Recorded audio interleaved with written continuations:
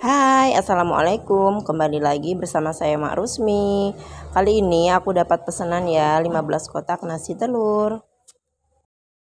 Seperti biasa, sebelum aku memulai semua aktivitas masak, yang pertama kali aku lakukan adalah memasak nasi. Sambil nunggu nasi mateng, aku mau uh, keluarin bahan-bahan belanjaan yang tadi aku beli di pasar. Ini aku beli sayur-sayuran, tempe, teri, dan bihun. Dan telurnya tadi udah aku rebus ya, cuman aku nggak sempat bikin video.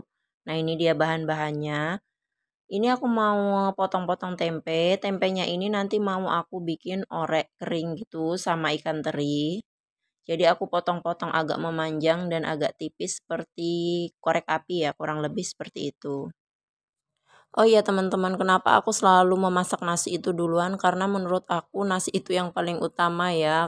Pernah aku dulu terakhir masak nasi lupa, begitu pesanan udah mau di packing baru ingat kalau nasi nasinya belum masak. Selesai ngiris tempe, aku tadi lanjut goreng kerupuk ya. Ini nggak video juga. Kemudian minyak bekas goreng kerupuk ini aku pakai untuk goreng tempe.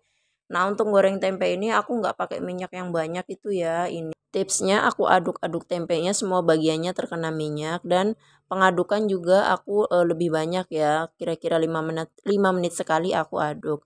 Kemudian ini lanjut aku mau e, goreng telur yang udah direbus tadi tujuannya supaya lebih kokoh dan tidak hancur ketika aku masak nanti.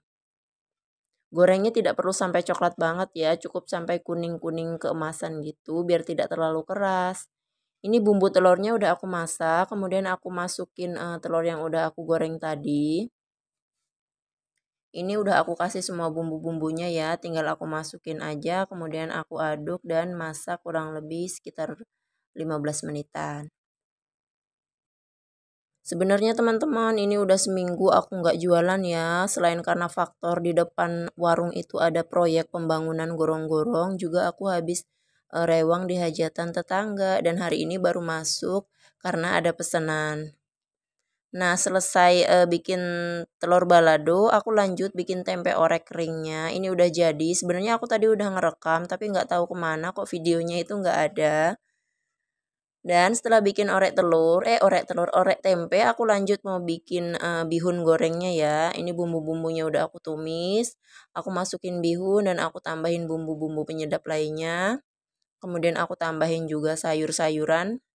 Di sini aku pakai wortel dan sawi hijau. Untuk sawi hijau aku masukin terakhir ya supaya tidak terlalu layu. Nah ini dia udah matang. Untuk sentuhan terakhir aku mau taburkan bawang goreng biar rasanya lebih harum. Kemudian aku aduk-aduk. Dan ini udah persiapan packing, nasi udah aku bungkusin, telur, sambal, dan kerupuk juga udah aku bungkusin masing-masing. Karena ini perjalanannya jauh ya, aku khawatir kalau nggak dibungkusin itu pada belepotan di dalam kotaknya. Dan ini udah aku packing dan ini dia hasilnya. Terima kasih sudah menonton video Mak Rusmi. Jangan lupa subscribe. Assalamualaikum warahmatullahi wabarakatuh.